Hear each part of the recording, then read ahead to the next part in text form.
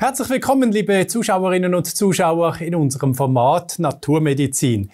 Ich möchte heute nochmals über dieses doch pulsierende Thema 5G sprechen, über diesen ganzen Elektrosmog, wo da immer mehr auf uns zukommt. Ich habe mir dazu einen Herrn ausgesucht, der mich so sehr beeindruckt hat über seine Geschichte. Er ist Heilpraktiker, er hat auch vieles vom Dr. Klinghardt schon gelernt, aber er hat auch eine Vorgeschichte, er ist nämlich so ein, ein, ein, ein, ein Meister, ein Schau Shaolin-Meister, also jemand, der sich wirklich mit, äh, mit einer Kampfsportart auskennt. Das heißt für mich, er hat eine Sensibilität entwickelt, er hat eine geistige Fokussierung entwickelt und er ist heute mir auch wieder zugeschaltet, nämlich der Matthias Zebola. Ganz herzlich willkommen, lieber Matthias. Hallo, ja, schön, dass ich dabei sein kann. Klasse, ich freue mich. Sehr gerne, danke herzlich. Ja, ich habe schon einige Themen über 5G gemacht. Ähm, ich glaube, man kann nie genügend darüber aufklären. Es sind immer wieder andere Zuschauer. Und ich möchte auch gerne mal äh, ein bisschen aus deinem Erfahrungsschatz hören, wie du äh, eingestellt bist auf das 5G. Positiv, negativ, ängstlich, vorsichtig, äh, kritisch, zuversichtlich. Sag mir einfach mal so irgendein paar Schlagwörter, die bei dir eins ins Herz gehen. Ja, es ist tatsächlich so, dass man vorsichtig sein muss, aber nicht panisch. Also Vorsicht ist wichtig ähm, und es ist wichtig, dass jeder für sich selber schaut, wo er äh, dem Ganzen ausgesetzt ist. Nicht nur dem 5G, sondern allgemein dem ganzen äh, Funk, dem ganzen Handy-Funk. Also diese, diese Funkmasten, die äh, aufgebaut sind auf Häusern oder in Dörfern auf Masten, da sollte man eben schauen, wo die sich befinden und wo man sich selbst befindet, einmal zu Hause und einmal auf der Arbeit.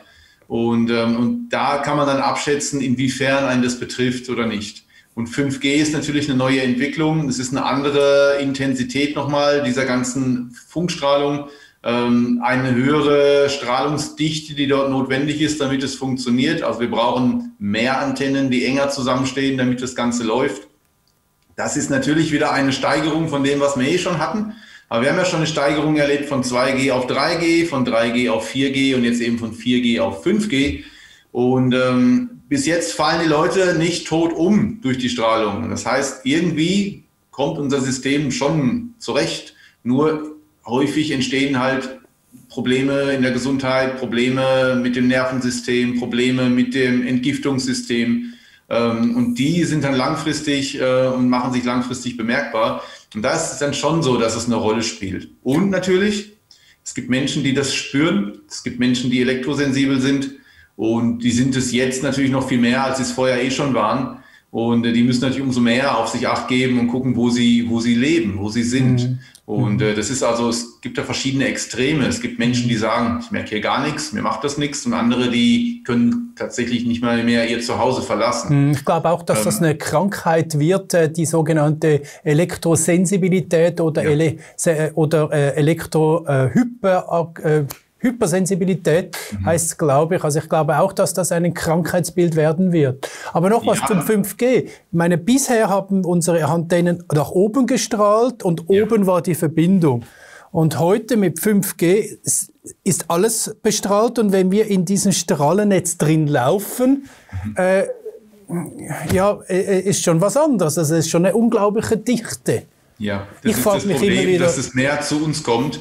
Und noch haben wir die Chance, dem Ganzen ein bisschen aus dem Weg zu gehen, äh, indem wir eben schauen, wo sind Antennen. Das heißt, wo halte ich mich auf? Und wenn man dann zwischen sich und der Antenne ein Gebäude hat, ähm, dann ist es oft schon so ein, Hinweis, da ist jetzt die Strahlung nicht mehr so dicht. Wenn ich aber direkt gegenüber von einer Antenne arbeite oder äh, lebe sogar, dann muss ich mir überlegen, äh, ob ich da mal messe mit, mit einem Messgerät und einfach mal Messwerte hole. Und wenn die zu hoch sind, dann sollte man entweder an baubiologische Maßnahmen denken oder aber äh, tatsächlich auch daran denken, dass man, dass man umzieht oder irgendwie in andere Räume nutzt mhm. oder so. Mhm. Es ist schon wichtig, da ernst mit umzugehen. Gleichzeitig natürlich gibt es Möglichkeiten, den Körper so ein bisschen zu, zu schützen davor. Also es gibt verschiedene Varianten, was man machen kann, um den Körper zu schützen vor der Strahlung. Aber es ist wahrscheinlich echt besser, dem Ganzen so gut es geht aus dem Weg zu gehen. Die Gefahr ist jetzt, die ich sehe persönlich, wo auch noch niemand mir sagen kann, wie sich das aushalten wird, das ist dieses 5G von den Satelliten. Also das, was gerade Elon Musk und Co. Äh, versuchen, ein flächendeckendes Netz zu erstellen, ähm, um die Erde herum. Auf der einen Seite toll, man kann egal von wo auf der Welt dann ins Internet, das ist natürlich nicht schlecht, aber gleichzeitig ist es eben so, dass, die, dass man dem Ganzen dann nicht mehr entfliehen kann. Wenn es vom Himmel runterkommt, dann ist es schwierig, nach Antennen zu suchen. Und da braucht man nochmal ganz andere Ideen. Weißt du, ich frage mich genau darin noch, ob wir da nicht auch vielleicht auch etwas kaputt machen mit der Erdatmosphäre, äh, mit dem um die Erde herum. Ich, ich weiß nicht, ist das alles durchgetestet? Sind wir so schlau gewesen, wir Menschen? nee, nee, nee. Wie, wie so häufig wird die, die Technologie also ich will gar nicht zu sehr jetzt, es gibt ja verschiedene Ebenen, auf denen man das denken kann. Aber die erste Ebene ist tatsächlich mal die naheliegende, ist die wirtschaftliche Ebene. Das heißt, es gibt Unternehmen, die profitieren davon, dass sie dort Netzwerke ausbauen, dass Handel schneller laufen kann, ähm, dass, dass einfach dieses ganze Internetthema für den Kunden, für Werbung, für Kommunikation, für Einkauf, Verkauf nutzbar ist, für die Industrie nutzbar ist. Und ich glaube, das ist schon so. Wenn man sich anschaut, die Mobilfunklobby, ist momentan die stärkste Lobby äh, in, im Senat zum Beispiel äh, in, in Amerika. Mhm. Also das heißt, die, ähm, die Pharma-Lobby oder, oder andere Lobbys sind längst nicht mehr da, wo sie mal waren. Die Mobilfunklobby hat alles überholt. Das ist schon interessant. Das heißt, ja. es ist eine Riesenmacht dahinter. Darüber redet niemand, ja. Aber ja. hast du noch irgendwas auch mal gehört? Weil ich habe mal gehört, dass überall an diesen großen Städten, angefangen in Wuhan, dann rüber nach Italien, äh, überall eigentlich ziemlich viele grippale Infektionen da waren. Wir mhm. haben in unserer Zeit einen anderen Namen dafür, das wollen wir jetzt gar nicht sagen. Äh, aber der Zusammenhang zwischen 5G und dieser Grippe, gibt es da irgendwelche Zusammenhänge? Hast du da was gehört? Oder was ist ja, deine Ja, ja, das gibt es tatsächlich. Äh, dadurch, dass es da so eine hohe Intensität hat. Man muss wissen, es ist, äh, diese Strahlung, jede Form von, von ähm, hochfrequenter Mobilfunkstrahlung, aber je höher die Intensität, umso, umso mehr. Jede Form sorgt dafür, dass der Calcium-Einstrom der Zelle ähm, verhindert wird oder behindert wird, andersrum.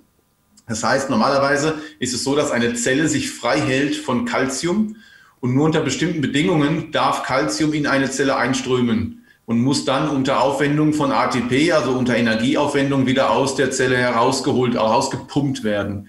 Und diese Calciumkanäle, diese, diese Calciumschleusen, die werden durch den Mobilfunk gelähmt öffnen sich und lassen Calcium einfach frei einströmen in die Zelle. Dadurch ist die Zelle nicht mehr wehrhaft. Eine Zelle kann sich dann nicht mehr ordentlich wehren gegen mögliche Angreifer von außen. Also wir bleiben mal in diesem, wenn wir in diesem, in diesem äh, Szenario Angriff und Krieg bleiben wollen. Ähm, das andere könnte heißen, die Zelle ändert ihr Milieu. Und durch diese Milieuänderung haben es bestimmte äh, Viren oder Keime leichter in einer Zelle zu existieren, sich zu vermehren und die Zelle für sich zu nutzen. Und das ist das Problem bei der ganzen Mobilfunkstrahlung. Das hat man auch, wenn man zu Hause sein WLAN anhat, den ganzen Tag, auch in der Nacht, und, äh, und dort der Strahlung ausgesetzt ist. Auch dort ändert sich das mit diesen Calciumkanälen. Aber es ist halt viel, viel intensiver, wenn eine Stadt ausgebaut ist mit 5G und man lebt, wird mittendrin. Dort kann man sich dem Ganzen nicht mehr entziehen. Und das ist schon enorm. Und es hat eine Wirkung, ja. Das habe ich leider schon öfters so gehört. Auch der Dr. Dietrich Klinghardt hat genau diese Wörter, Wörter auch gewählt. Ja. Und mir das auch schon gesagt. Ja, jetzt hoffe ich wirklich, was, was, was können wir tun dagegen? Äh, was hältst du vom Barfußlaufen? Man hört ja immer wieder, also ich meine, ich habe das auch gemessen, Elektrosmog äh, geht den Weg des geringsten Widerstands. Wenn ich keine Gummisohlen trage, leite ich den Elektrosmog eigentlich ab in die Erde. Ja, naja, das ist klar. Dieses, äh, dieses Erden oder Earthing heißt die Bewegung, da ist viel dran. Also man sollte schauen tatsächlich, dass man sich immer wieder irgendwie mit der Erde verbindet. Ich habe zum Beispiel, ich kann es jetzt nicht zeigen, aber an dem Platz, wo ich arbeite, habe ich eine Matte, eine Erdungsmatte, mhm. äh, wo ich immer meine Hand liegen habe. Wenn ich mit der Maus arbeite, liegt die automatisch immer auch mit auf dieser Erdungsmatte. Die ist angeschlossen an die Erdung von, vom Haus und ja. äh, so kriege ich immer diese negativen Elektronen ab die einem dann helfen, dass man aus dem Elektrosmog irgendwie sich ein bisschen runterfahren kann. Mhm. Das ist eine Möglichkeit von vielen Varianten. Mhm. Eine andere gute Möglichkeit ähm, ist, ist zu arbeiten mit bestimmten Kräutern. Also es gibt so die Idee, dass man zum Beispiel mit Rosmarin und Propolis arbeiten kann. Da gibt es so verschiedene Kräutermixturen, die man nehmen kann. Ähm, eine, die heißt E-Schutz von, äh, von biopure.eu. Das ist ein Tipp von Dr. Klinghardt die ist klasse, das funktioniert gut, muss man halt immer wieder einnehmen. Und wer, wer sagt, ich möchte jetzt nichts haben, was ich immer einnehmen muss, Der kann zum Beispiel arbeiten mit bestimmten anderen Schutzdingern. Und wir haben Verschiedenes getestet. Wir haben also in der Praxis haben wir bestimmt 230 verschiedene von diesen ganzen Schutz- und Harmonisierungs- und Elektrosmog, was auch immer, ähm, schwächenden Mitteln getestet und Maßnahmen und Ketten und Chips und allen möglichen. Und es kommen auch immer wieder neue noch auf uns zu durch Patienten, die uns fragen, hast du das auch schon und kennst du das auch schon? Und ähm, es haben letztendlich tatsächlich nur drei Technologien wirklich effektiv was gebracht. Alle anderen haben leider diese ganzen Tests, die wir gemacht haben, nicht bestanden. Und, äh, und diese drei, äh, eine Firma davon ist nicht mehr existent, die, die gibt's nicht mehr am Markt. Und die anderen beiden Firmen, das ist einmal die, äh, die Firma VitaChip und es ist einmal die Firma Chi Blanco. Die machen solche äh, so, so Ketten und Anhänger. Und ähm, Chi Blanco ist relativ teuer.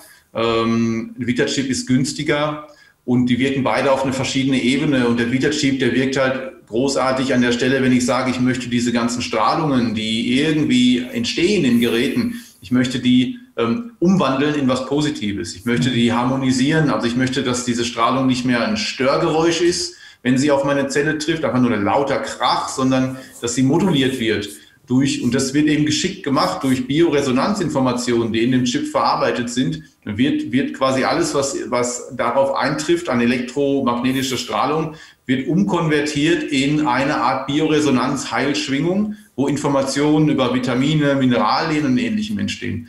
Das ist etwas, was es so nicht gibt. Das ist echt großartig und hat wirklich funktioniert. Wir haben es in verschiedenen Ebenen getestet. Einmal mit unserem äh, autonomen Regulationstest, aber dann auch mit der Dunkelfeldmikroskopie. Mhm. Was für mich da wichtig ist, wenn etwas funktionieren soll, dann muss man das in der Biologie live sehen, physikalisch. Und was man bei der Dunkelfeldmikroskopie sieht, ist, wenn jemand zum Beispiel mit dem Handy telefoniert oder Elektrosmog durch WLAN ausgesetzt ist, dann verlieren die Blutzellen ihre Ladungen.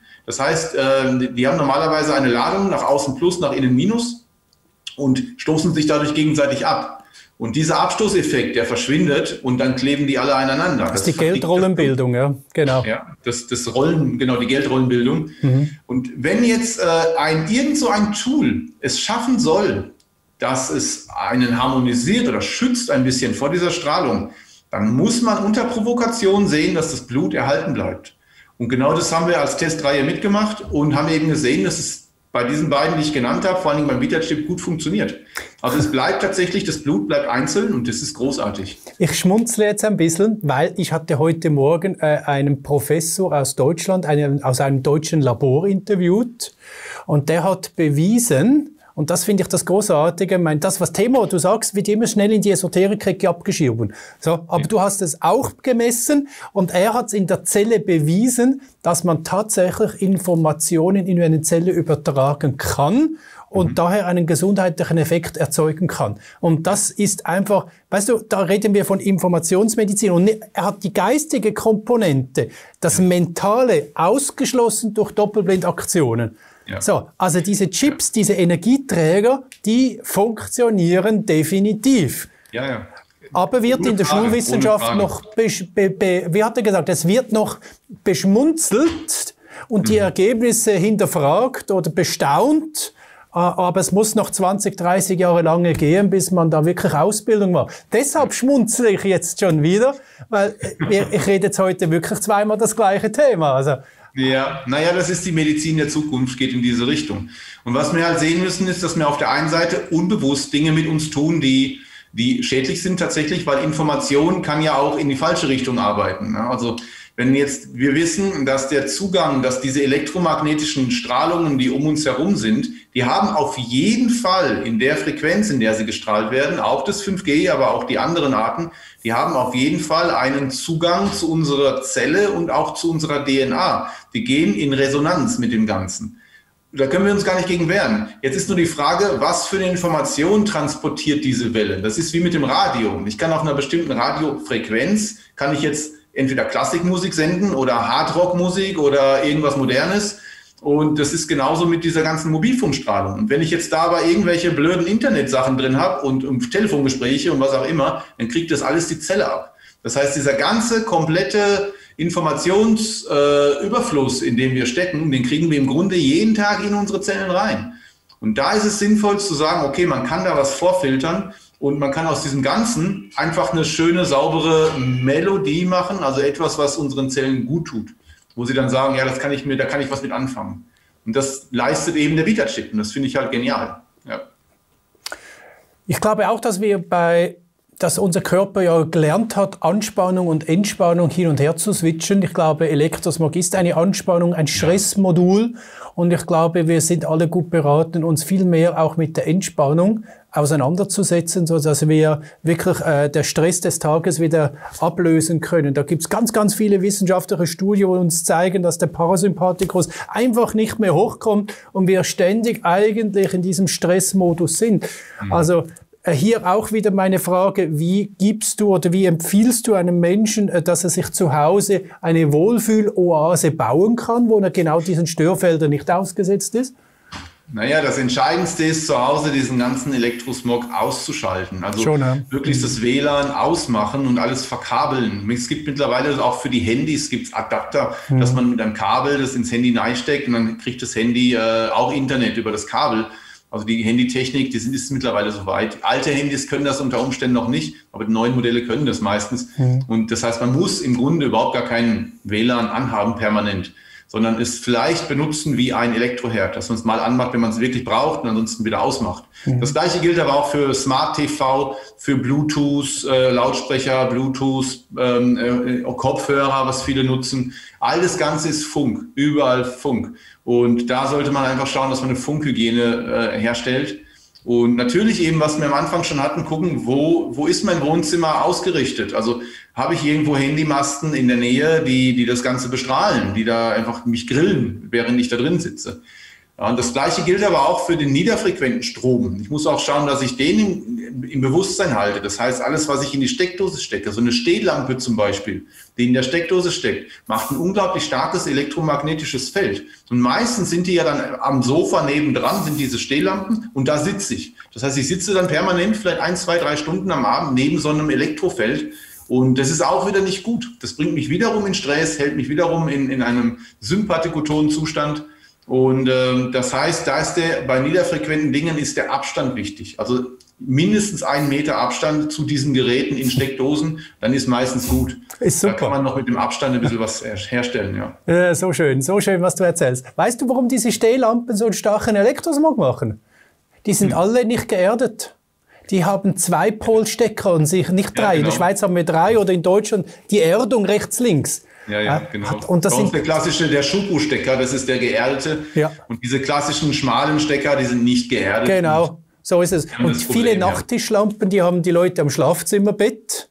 Das ist wichtig. Ah, Radiowecker ja. im Schlafzimmer. Die und wieder zwei Polstecker nicht geerdet. Genau das gleiche Thema. Ich habe es gemessen. Ähm, wir haben da Messinstrument und haben wirklich die, äh, die äh, in Volt gemessen, die Energie. Äh, statt null haben sie bei der Nachttischlampe bis zu 180 Volt an der Wahnsinn. Birne gehabt. Ja. Übrigens auch beim äh, niederfrequenten Strom von der Steckdose her vibriert auch ständig raus, ja, wenn irgendwo ja. was zieht, da am Netz freischalten. Unser, unser wichtigster Tipp ist, dass man die Sicherungen in der Nacht mindestens vom Schlafzimmer ausschaltet. Mhm. Am besten noch von den nebendran liegenden Räumen, weil die Leitungen, die auch in die Nachbarräume gehen, sind in der gleichen Wand verbaut. Mhm. Und am besten diese ganzen Sicherungen ausmachen. Bisschen kritisch wird's, wenn die Küche nebendran ist, weil da ist der Kühlschrank dran. ja. Aber die meisten Kühlschränke halten sieben bis acht Stunden die Temperatur. Okay. Also das heißt, man kann das auch mal probieren. Wenn man jetzt nicht äh, gerade irgendwelche hochempfindlichen Dinge im Kühlschrank hat, dann kann das normalerweise gut gehen. Mhm. Und aber wir haben das lange, lange Jahre so gemacht mit, den, mit der Küche. Jetzt haben wir glücklicherweise eine Wohnsituation, wo die Küche nicht mehr am Schlafraum ist. Wir machen aber die Schlafzimmer schon seit über zehn Jahren, machen wir immer alles aus. Ich bin auch länger sogar noch, 15 Jahre oder so. Ich bin immer derjenige, der abends rumgeht und macht die Sicherung aus von allen Schlafräumen und morgens mache ich sie wieder an. Und, ähm, und das ist optimal, weil man schläft dann wie in einer Berghütte. Hm, verstehe ich, ja, klar. Jetzt ist mir noch so ein Beispiel in den Sinn gekommen, diese Salzkristalllampen, die heutzutage auch sehr viele Wohnungen beschmücken. Ja. Ähm, die haben eben auch immer wieder diesen Zweipolstecker drin, eine Lampe. Ja. Ist ja schön, sieht super aus, aber die ganze Luft wird kaputt gemacht und der Elektrosmog ist äh, echt groß, oder? Also auch da wieder immer schauen, dass das Zeug geerdet ist. He? Genau. Ja, und was man machen kann, ist halt zusätzlich noch, wenn man das möchte, dass man einfach diese ganzen Geräte, die jetzt in irgendeiner Form Strahlung abgeben, ähm, was man nicht umgehen oder ausschalten kann oder möchte, dass man da dann äh, arbeitet mit solchen Tools wie jetzt diesem Vita-Chip mhm. oder, oder dieser ähm, Chip-Blanco-Technik. Also mhm. damit kann man tatsächlich es schaffen, dass, äh, dass das Ganze nochmal mehr harmonisiert wird. Jetzt, wenn ich diesen Professor von heute Morgen äh, richtig verstanden habe, und das habe ich, dann würde ja eigentlich dieser Chip jetzt nicht nur auf dem Handy wunderbar auf dem Handy wirken, sondern ich könnte ihn wahrscheinlich auch bei gesundheitlichen Problemen, also wenn es irgendwo zwickt, ja. wahrscheinlich auch draufkleben. Hast du das auch schon getestet? Ja, das Spannende ist, dass es zu dem, zu dem Chip, so bin ich damals drauf gekommen, da gab es eine Studie, die gemacht wurde ähm, mit Schmerzpatienten. Und tatsächlich wurde das geschafft, dass man eine signifikante Zahl, ich glaube über 80 Prozent äh, der Schmerzpatienten haben mit dem Chip äh, erfahren, dass sie äh, eine, eine Erleichterung der Schmerzen haben. Mhm. Und das haben wir dann auch in der Praxis immer wieder angewendet, dass wir Patienten diesen Chip geraten haben, sich den zu besorgen und auf diese chronischen Schmerzstellen zu geben. Und tatsächlich hat das gut funktioniert. Bei manchen besser, bei anderen weniger. Man muss halt schauen, auch was sind die ganzen Rahmenbedingungen für einen einzelnen Menschen natürlich. Aber das hat eine tolle Funktion, auch im gesundheitlichen Sinne. Ja, mhm. also man kann sich damit gesundheitlich auch noch zusätzlich ähm, stärken, wenn man mhm. so will. Mhm. Also ich werde noch für Sie, liebe Zuschauerinnen und Zuschauer, den Namen des Professors in den YouTube-Text reinschreiben, der sich da damit beschäftigt haben. Äh, da können Sie nachgoogeln, Sie können auch die Sendung noch anschauen, was er alles da bewiesen hat, heute wissenschaftlich und auch weltweit Vorträge macht, eben dass solche Chips mit Informationen tatsächlich eine Wirkung haben auf die Zelle äh, sowohl in negativer Information wie auch eine positive Information. Aber negative kriegen wir ja genügend zugeschaltet. Ja. Es ist ja, ja. gut, wenn wir uns mit Positiven auseinandersetzen. So ja, ich aus. denke, da haben wir einen guten Rahmen an Möglichkeiten aufgebaut in dieser Sendung, wo wir jetzt nicht den Vogel-Strauß-Prinzip Kopf in den Sand stecken sollten, sondern wirklich äh, die Technologie nutzen, wenn sie da ist. Großartig, wunderbar, aber eben auch abstellen können, wegschreiben können, dass wir hier eine, eine Rückzugsoase bauen, wo wir das eben dann nicht haben. Gell? Hm. Wie reagieren ja, deine Patienten ich, äh, ich, ich vergleiche das immer gerne, vielleicht noch, ähm, ich vergleiche das immer gerne mit, ich bin so ein alter Fan vom Raumschiff Enterprise, von den moderneren Folgen, nicht von den ganz alten.